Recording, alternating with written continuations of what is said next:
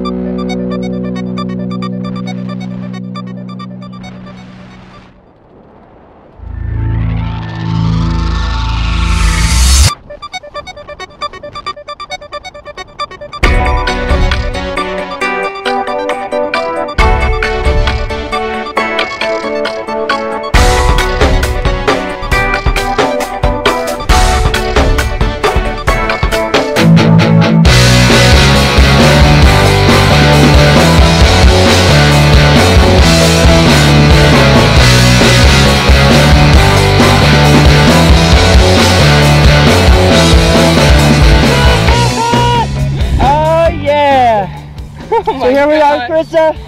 Happy birthday, 18. we flipped, we flew.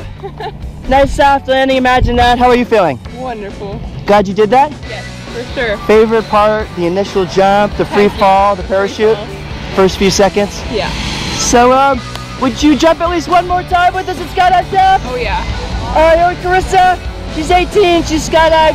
You can do anything now, right? Yeah. All right, we'll see you. Nice job.